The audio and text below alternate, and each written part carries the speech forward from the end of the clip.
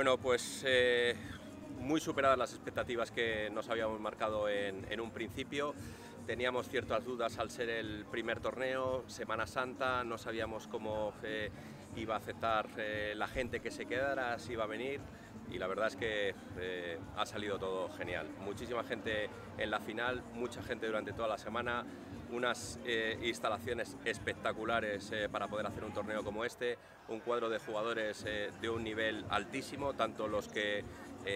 eran jugadores con mucho nombre y jugadores que a lo mejor no tienen tanto nombre, pero que han dado un nivel altísimo y que ha hecho que disfrutemos durante toda la semana y que sobre todo nos anime muchísimo a, pensar que en este torneo eh, el próximo año o en dos años eh, vamos a poder hacer un torneo mucho más grande, mucho mejor y que va a ser un torneo eh, para el tenis de Madrid. Muy contentos.